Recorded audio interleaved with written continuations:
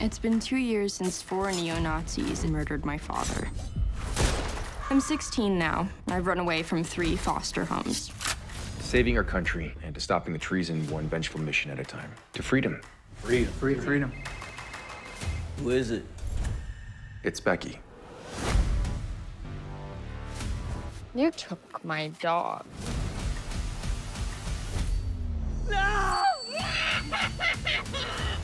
Should we go to the cops? I got enough weaponry in my barn to start an insurrection at Town Hall tomorrow.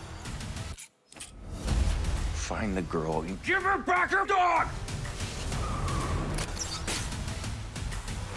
Diego, attack.